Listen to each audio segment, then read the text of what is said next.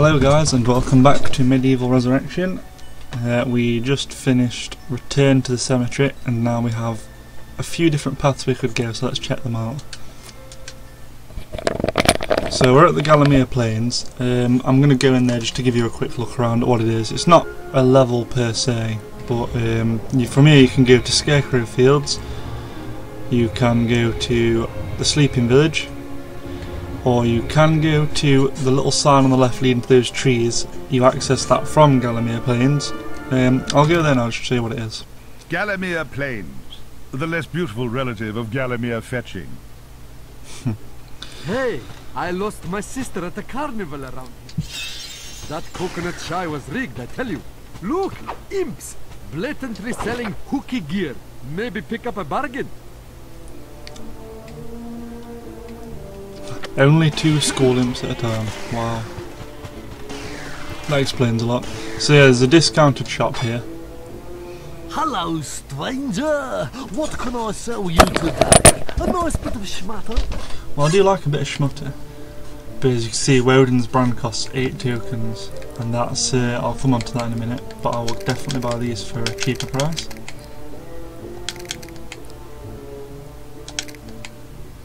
That was a bargain, indeed. Right, so what we've got here is we've got, this is the access to the level I was telling you about. The, um, back to graveyard. Homesick already? what does it? Oh yeah. So that leads to the graveyard, in which case it must be this way that leads to the enchanted forest. Ah, the Nope, this is Sleeping Village. We should visit Mayor's house. You never take me anywhere nice.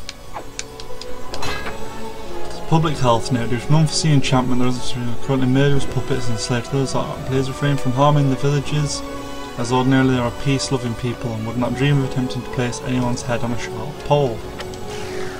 Well, fair play, I suppose. I think this way leads to Scarecrow Ooh, Fields. ooh. Yes, it Either does. you are more scared than I thought, or that's the smell of the countryside.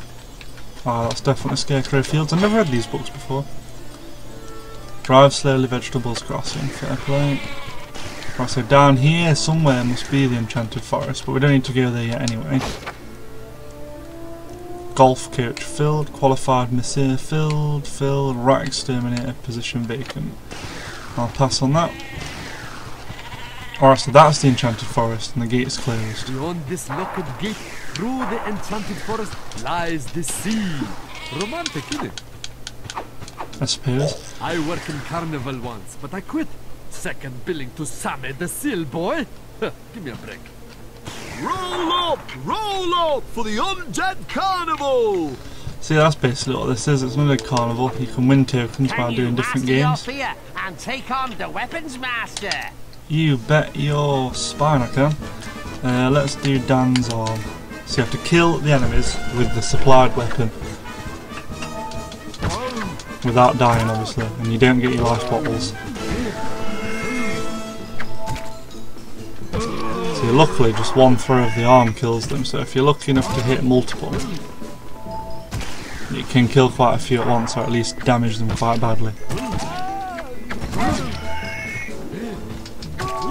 Or you could just stand and club them, considering zombies don't really do too much damage. Although they do keep coming back for a while. It's, it's a lot diff more difficult than it looks. So obviously you don't have too far to run if you're using a mainly ranged weapon. Club him! There we go. I think we did that quite well. Oh god, we're not done. So it could take some time to do these games. I do plan on doing them. Whether I'll do them on... I'll, I'll probably do them recorded, but it's just they take a long time. Probably have a separate episode where I just do carnival games. I'm not going to do any other than just this one for now, just, just to generally show you what the games can be like. So this is one type. There's another arena one where you can choose your weapons and you just fight to the death with all these enemies until you uh, win. I can't remember many of the others. I didn't really play that much as a kid. I was more focused on the story.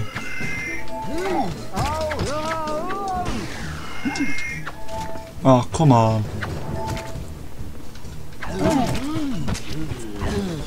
Oh, some uh, two fat zombies.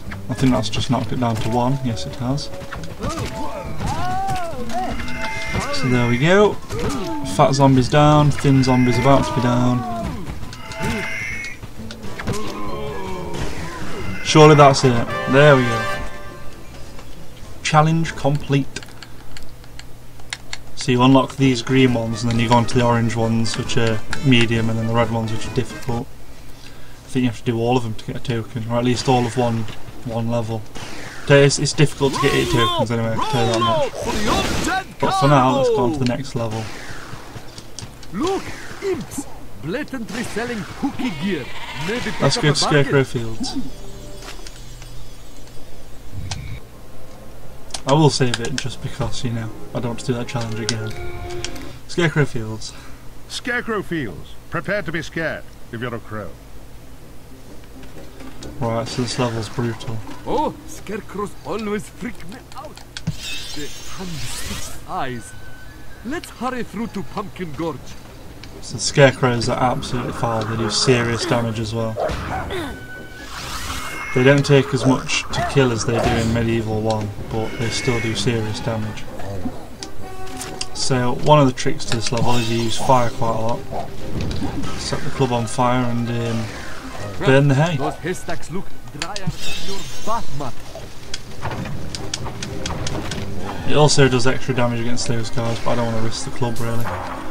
Not when it's pretty much really invaluable for this level. These guys can outrange the longsword, so I recommend either using a shield or a ranged weapon.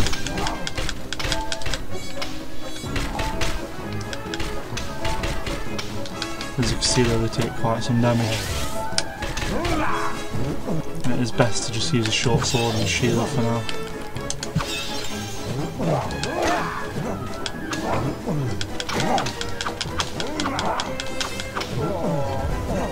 I'm not sure if these guys might actually take increased damage from the hammer.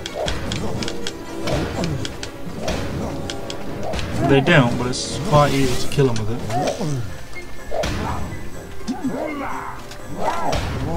They do some serious damage, man. They're a lot harder than they are in uh, Medievil 1. I do apologise if I say Resident Evil, I keep getting them mixed up. Let's see what he's got. Welcome to my humble shop. Spend freely. There's no pockets in the shroud, tighty. It's not worth paying that much for the health file though, is it? Right, um, so we need to set the hay on fire again. Oh, there's a building. Let's go.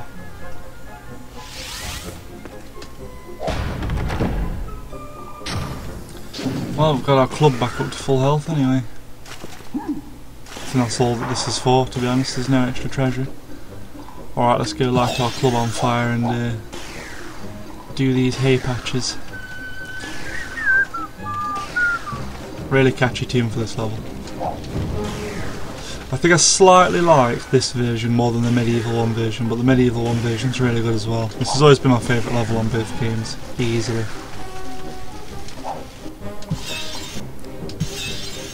Easily my favourite. Right, so we got some more treasure. Some more treasure. More importantly, the rune. Well, at least we can make some progress now. There are nasty, creepy, scratchy things in the corn crops, Dan. Don't stray from the path. Oh, uh, yeah, I'm not even going to show you. They're foul, trust me. You can see them in the background then if you want to record, if you want to rewind. You can just see it now, look, running forwards in front of me. They kill you the second you walk in. You can, if you're very lucky, dash straight through. But half the time it doesn't work, so I wouldn't recommend it.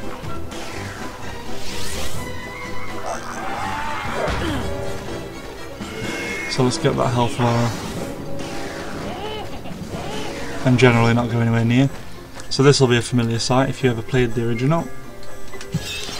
Look! A two-story metallic imp! On any other day, that would seem weird. So you just have to shoot the head off.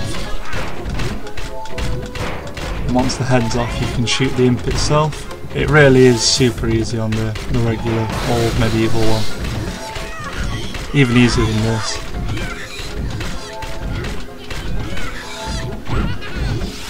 Stomp you. Wow, it doesn't have that in the original. Takes a lot less crossbow bolts and a lot less time to kill him on the original. So let's see what we've got to deal with around here then. Farmers, right? I'm definitely throwing knifing these fa- this uh, Hayman farmer to death. I'm not wasting any more time getting close to these guys and losing health. It may take a lot of throwing knife, but I don't care. So me and Matt are planning on recording Lord of the Rings Online either tonight or tomorrow, sometime very soon anyway. Most likely tonight we've decided on, so keep an eye out for that. Why can't I just snipe the imp from here? That took a lot. Like that, that seriously took a lot of throwing knives. Throw two at a time, do extra damage. And let's finish it off with Dan's arm. Oh yeah, I'm going there. I'm just a tightwad when it comes to anything that has to do with numbers, gold, money, um, ammo, anything like that. Very shady with it. Tempted to try the spear on the imp. This imp's a bit tougher. He does do a bit of a twisty leg move sometimes.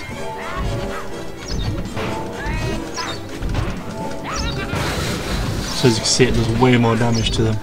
It's probably my strongest range weapon at the minute. That got him. Hmm.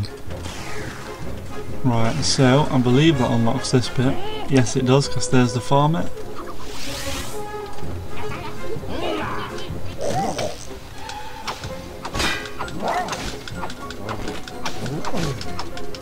can get them pinned up against the corn, you're okay to just spam them with uh, quick attacks to finish them off. But as you can see they have a lot of health, they're really tough to defeat. Alright, so now we come on to a bit of puzzle gameplay. So you can follow the corn, the corn rows around. Obviously scarecrows are going to try and ruin your day. Long range weapons are best to deal with, either range weapons or weapons with long reach. So the chalice is over there, but we can't get to it from here. Let's go and light that haystack and quickly look for any other haystacks. One here with a health vial, that's very useful. I believe there may well be one up here as well. No, there isn't. Okay, so let's go back for that health vial, definitely. And we don't even have to kill a scarecrow for it. Pardon me. I'm going to kill this one now before it causes problems later on.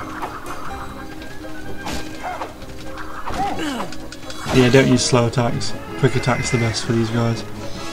As I've just found out, I've got 100 souls, so I can get the chalice. Scarecrows are a lot easier to kill on this one, I'm telling you. You wait. If you if you want if you want to compare, uh, I'd recommend watching Akuza Chan's video. Uh, he has a scarecrow fields of Res uh, Resident Evil Medievil One on PS1. The scarecrows are so much harder, so much harder, but still difficult on this. To be fair, if you're not equipped properly. Ah, ah, yeah, yeah, I know. So the goal here is you have to lead these chickens by walking behind them into there, and then you have to get them into those piles of corn. It's difficult. this, this bit used to annoy me so much as a kid. So we'll get him up there for now, and then we'll get this chicken up there. Come on, chicken. There we go. Right, come on, up you go, up you go. Into the corn piles. Right, so he's eating that corn. Well, he was eating that corn.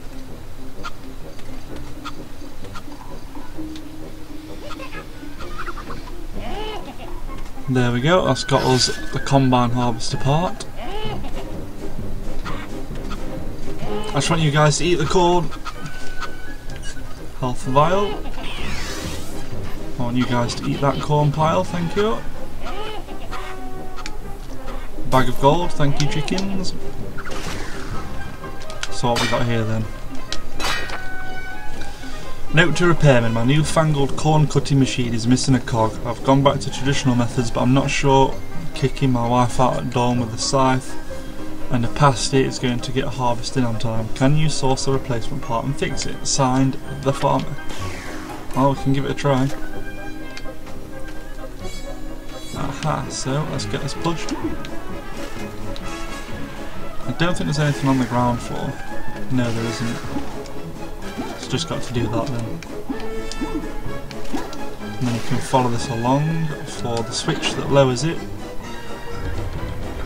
And that lowers the funky looking machine. Whoa! Right, let's add the combine harvester part. And that sets it into motion.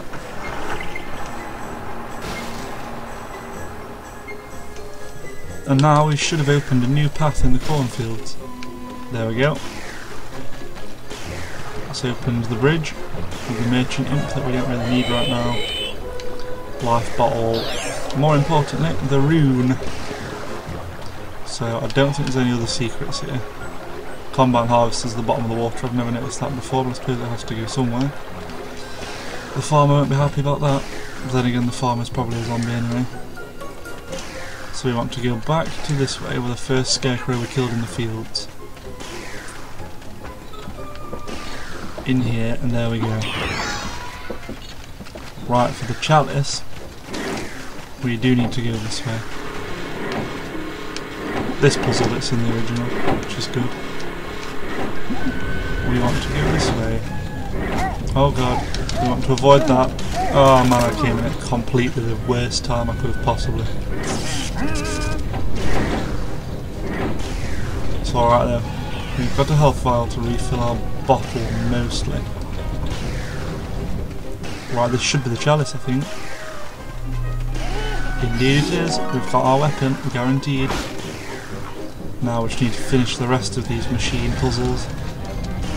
And I believe we're done. Right, so let's get through there.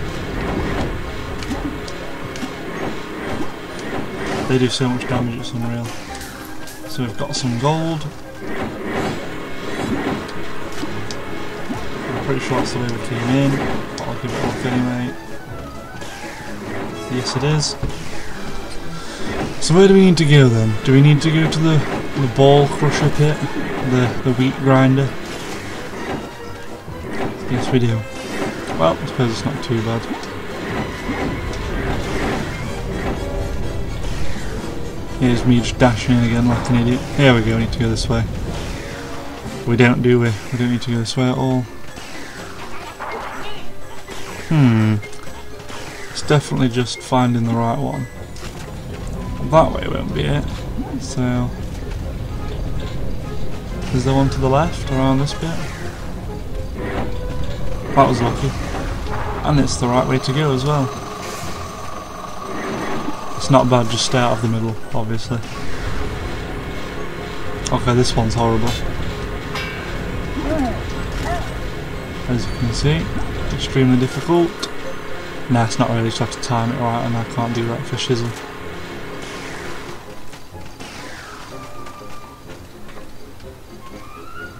Oh, okay, that's better. Thank God, I thought I had to go back to that trap.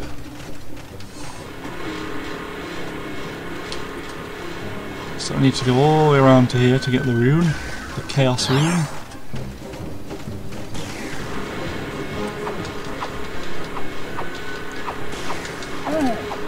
As if that hits you.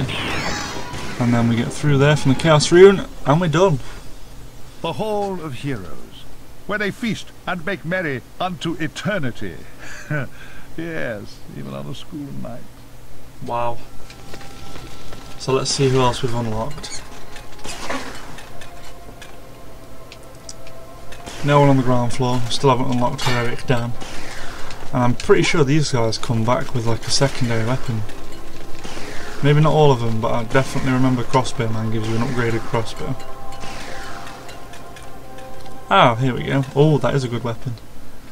At you look, running around in your bones, Fortescue. You are just so nouveau dead. I, Raven Hooves, last of the Centaur princes, have not the earth in a thousand years gallop. But last time out, I won on the flat by seven lengths. Carrying nine stone eleven. Crazy. Yourself a favor do, Fortescue. Take my long bow. It is the weapon of noblemen. My breeding you don't quite have, Mr. Johnny Die Lately. But you do your best, I sure. Ciao, Bell. Yes, the longbow, very good weapon. I like it. Obviously, its name suggests it's got an ace range, and the arrows can go miles. Look. Oh, as if that counts as an invisible barrier. Alright, well, they have to go down bottom to leave anyway. Who's that? I know that weapon, and that is an awesome weapon. I only got it by cheating, because I've had all the weapons through cheats at some point, but I have no shame. Right, check out the range on this bad boy serious range compared to the crossbow. Plus you can go. That arrow does serious damage. But you can fire three like usual. I say longsword still proving to be my favourite weapon. And that's the end of that mission guys. So we'll save it there and I'll continue Pumpkin Gorge in another video because it's quite a long quite a long mission that. It's got a boss fight and stuff so we shall save it there and uh, thanks for watching guys and I'll see you next time